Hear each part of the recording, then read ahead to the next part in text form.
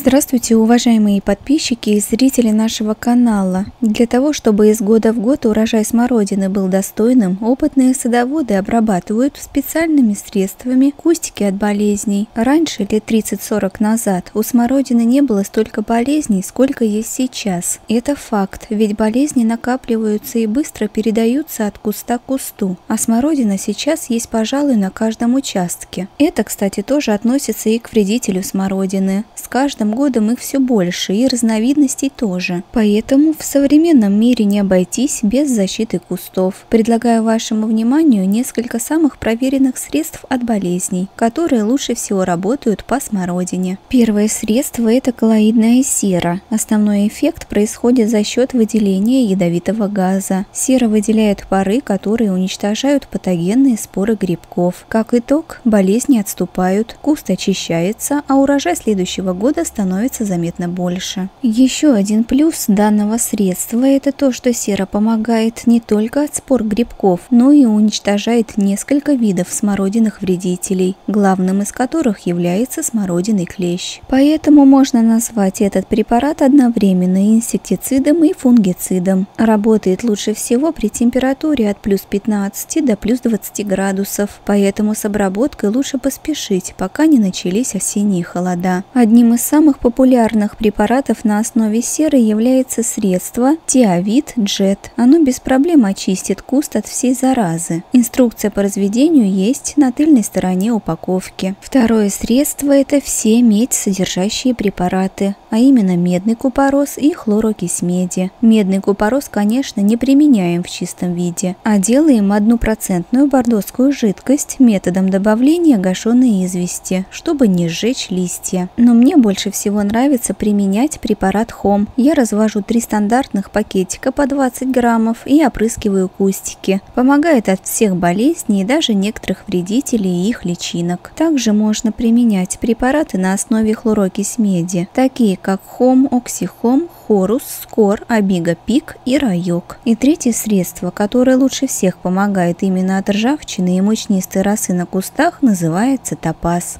Следуйте советам и делитесь своими результатами в комментариях, а также не забудьте заглянуть в описание под видео. Там вы найдете ссылочки на лучшие садоводческие интернет-магазины. Всего вам доброго!